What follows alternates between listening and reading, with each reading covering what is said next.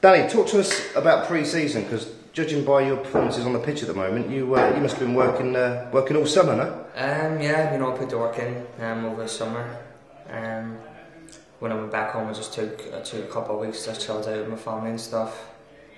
Um, but then after that, you know, I got my head down.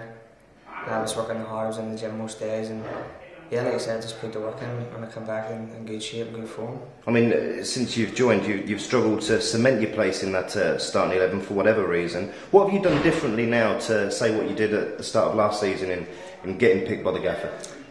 Um, like I say, I think I've just I've just put the work in. You know, it's um, I was never really too concerned about mobility and, and things like that. Um, I think with me it was just the development thing really. Um, you know, I'm starting to feel a bit more now, and I'm, I'm obviously right up to match fitness. So um, I just want to you know continue playing games and, and keep trying to get them 90 minutes on my belt and keep pushing on and, and, and play as many games as possible really. Would you say it was difficult uh, finding your feet in the English game?